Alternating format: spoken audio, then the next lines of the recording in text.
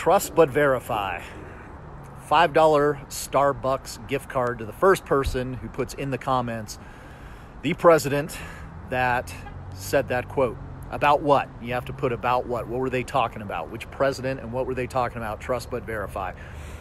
We had a house on the market, and what happened was we had the home inspection, and you know, home inspectors, you're all cool out there. I know some of you were on my friends list, but here's what home inspection reports have turned into. Um, contrary to popular belief, they are not a pass fail situation. The contents of inside of a home inspection report have basically come down to they take a look at every single item in the house and they basically write, mm, may be a problem with this item. Please have professional contractor come out to verify. Roof, maybe may be near the end of its lifespan. Please have professional licensed contract roofer come out to take a look at the roof.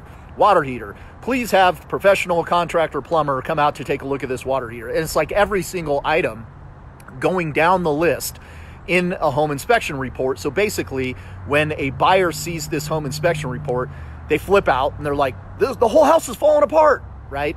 When most of it is nothing. But I guess home inspectors, just to cover their ass, write down basically anything and every single thing in a home inspection report. So we get these required repairs written over by the buyer that is a page and a half long of every single item possible in a home inspection report.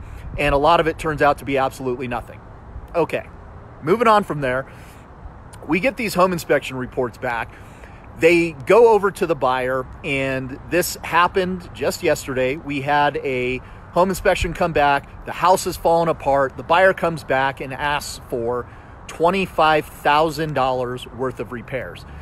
Now, having been around for a few transactions, I happen to know that you can almost gut the inside and replace everything inside of a three bedroom, two bath house with modest upgrades for about $25,000. So I call the agent and I say, hey, I could be missing something which possibly could happen. What is it about this inspection report that costs $25,000 that you guys are seeing and you're asking for this credit? Because I called my home seller and I said, hey, home seller, um, right now they're asking for 25,000. My home seller's like, oh no, um, do you think they'll take half? And I'm like, no, no, no, no, no. Uh, we're, we're not offering shit at this point because everything that I see in this home inspection report looks like it could cost at a maximum five to six thousand dollars, and that's a maximum. So I call the agent. I say, "What am I missing?"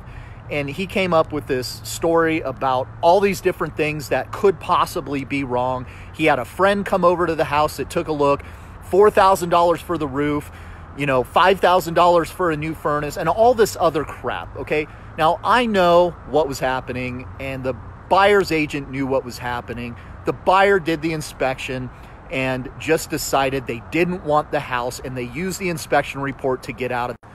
Now, I know that's happening. The buyer's agent knows that's happening. So, look, when that happens, they just don't want the house. You close, you know, you close a deal, it's a wrap and you move on. You just let them out because it's not worth fighting. They just don't want the house. So, I decided to have my own inspection report and my own inspector, I'm sorry, my own uh, contractor go over to give an estimate for everything that was wrong in the house, every single item in that re- inspection report. My contractor comes back and says, Dan, man, that house was a bear. There were some problems with it. Uh, we've got an estimate here for you to fix everything in this report $3,700. Course, I forward that over to the buyer's agent. I say, hey, here's the inspection report. We're willing to do all of this work, $3,700. He's like, well, no, my client has decided that there's too many problems with this house. We don't want it. Okay, they just didn't want the house. But here's here's where I get trust but verify. Guys, please, please, please, especially if you're a new agent, you don't have a lot of transactions under your belt, do not trust the opinion of someone else's contractor and someone else's another agent's opinion about how much it's going to cost to fix some of these items. If you need a contractor, if you need someone, get your own bids and trust the bid that someone gives you, but verify by getting another bid on some work. Some of these contractors are really not out to do the most upstanding bids out there, or sometimes they don't even want the job because they're so busy. So they give you this crazy bid for a price and it kills the deal. So if you guys need a contractor, let me know. I will give you contractors that I use on my personal home.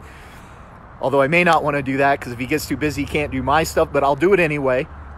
Let me know if you guys need a contractor who can do the work, who is trustworthy, who will give you a solid bid. Because just remember, the other side is out to get what they want to get for the house. Obviously, they'll come up with these big, crazy numbers. And my client was willing to give them half of the craziest number I've ever seen him come up with just out of the gate.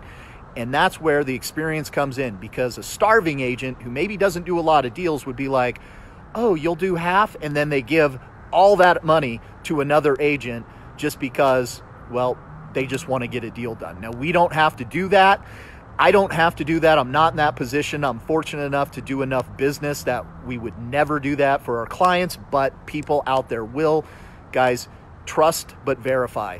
Trust the contractor you have going out there is doing a good job, but verify by getting at least two to three bids, especially if you get these crazy high numbers for roofing repairs. I can tell you, man, roofers, if you get a if you get a home inspection report that says it needs it may be ending you know at the end of its life for a new roof which happens all the time.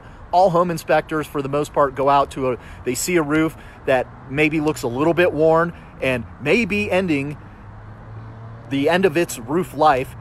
Have a professional roofer come out. The pre- professional roofer comes out and says oh yeah needs a new roof. You know that'll be $12000 you have another home inspector come out, doesn't say anything about the roof. Guys, get second opinions on this work. It seems like everyone would know this, but they don't. Protect yourself, protect your clients. Hit me up if you guys need contractors. Happy to share whoever needs it.